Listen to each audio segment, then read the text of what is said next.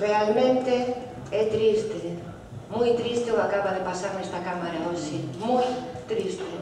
42 anos despois do asesinato de dous obreiros a mans da policía franquista, o Partido Popular nega o seu recoñecemento a estes dous traballadores traballadores do naval. resto dos grupos.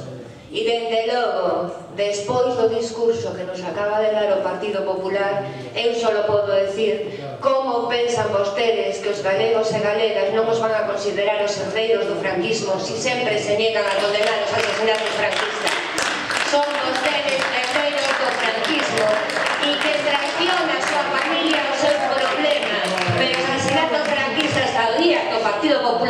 Popular condena os asesinatos franquistas serán vostedes cómplices dos asesinatos franquistas.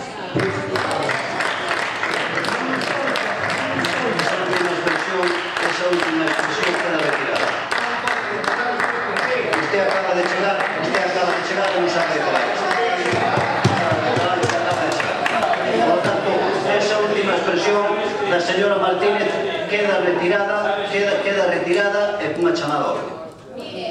No, no, no, dirixidos. Queda retirada esa expresión e ten vostede unha chamada. Non, non, non, non vou discutir con vostede. Siguiente proposición, siguiente proposición non de lei. Grupo Parlamentario do Bloque Nacionalista Galego por iniciativa de María Rodas Chapela e don Francisco